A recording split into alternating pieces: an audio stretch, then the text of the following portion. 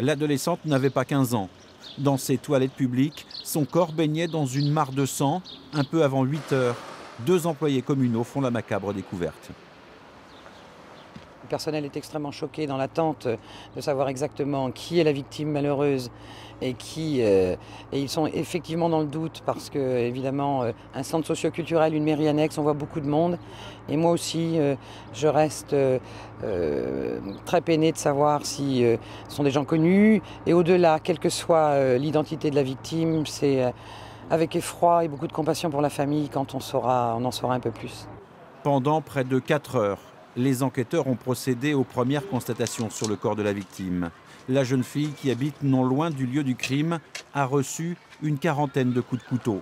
Une agression d'une violence rare. Dans le quartier, certains disent avoir vu un rôdeur.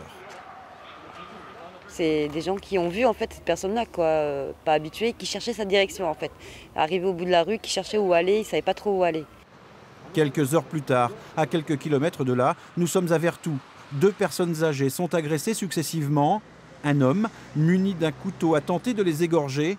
Un suspect est donc interpellé. Dans sa poche, le portable de l'adolescente retrouvé à Bougnay.